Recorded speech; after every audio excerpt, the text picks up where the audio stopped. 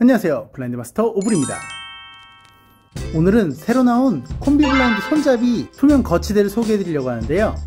요즘 많이 사라졌지만 불과 몇 년 전만 해도 어린아이들이 블라인드 줄에 목이 걸려서 사망하는 안타까운 사고들이 몇 번 있었는데 그걸 조금 방지하기도 하고 바람 불면 나풀거리는 불 손잡이를 깔끔하게 해줄 수 있는 기능성 제품입니다. 길게 설명할 것 없이 간단한 제품이니까 한번 빠르게 알아보겠습니다.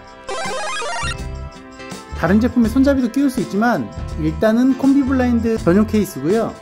이 안쪽으로 손잡이를 넣을 수 있고 고정이 힘든 거실 가운데 창을 제외하곤 양쪽 사이드에는 피스로 고정도 할 수 있게 이렇게 피스 구멍도 되어 있습니다 만약 샷시나 벽을 뚫는 게 부담스러운 분들은 이 제공되는 테이프를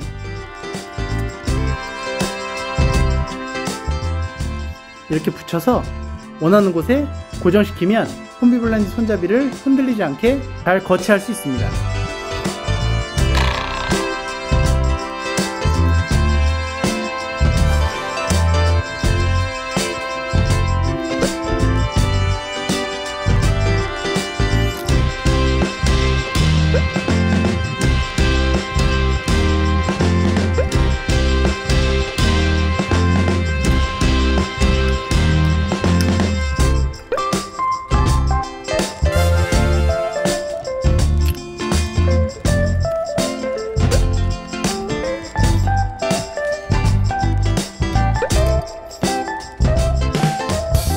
예전의 블라인드들은 손잡이가 타원형으로 생긴 걸로 거의 통일이 됐었는데 보시다시피 요즘 블라인드는 회사별로 손잡이가 다 제각각이라 케이스를 다 맞추기가 쉽지 않습니다 그럼에도 불구하고 이 투명 케이스는 사각, 두개형, 타원형 등 웬만한 손잡이가 거의 다 들어가는 호환성을 보여줍니다 참 잘 만들었죠?